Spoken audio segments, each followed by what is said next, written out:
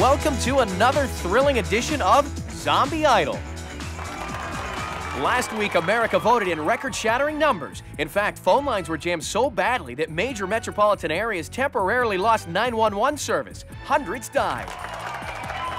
It all started with the auditions, as the reanimated corpses of rock and roll all competed for a spot on our show. Past performances from zombies such as John Lennon and the Beach Boys tore up our stage. Competition has been hot and heavy. It's time to meet our judges. Give it up for Frankenberry.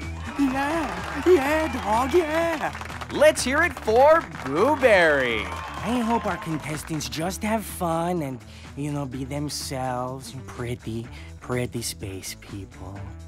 And the puppy. And last and certainly not least, please welcome Count Chocula.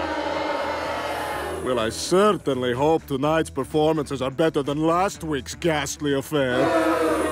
Nice outfit. Isn't it gauche to wear brown after Labor Day? I don't know, Ryan. Isn't it gauche to be a complete douchebag on national TV each week? Not when you're paid like me. It's time for our first performance of the evening. Here's Bob Marley.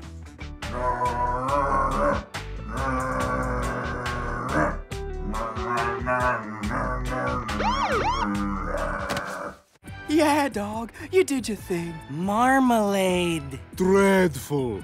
Don't forget to text message your votes at the end of the show because phone companies make far more money that way. It's time to check in now with our very own roving reporter, Kristen Holt.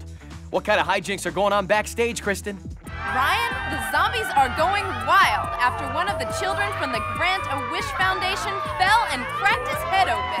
Brains! It's like some kind of feeding frenzy. LA woman. There's only one way to stop a zombie. Blow their heads off, baby. Don't forget to tell them about all the great deals at Radio Shed, Bing.